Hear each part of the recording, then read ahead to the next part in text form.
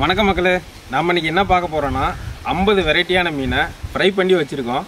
அதை வந்து அப்படியே சுட சுட இருக்குது அதை வந்து இலையில வச்சு அது என்னென்ன மீனுன்னு நம்ம சொல்ல போகிறோம் அப்புறமேட்டு நம்ம அப்படியே ஒரு கட்டு கட்ட போகிறோம் அதை இந்த வீடியோவில் பார்க்க போகிறோம்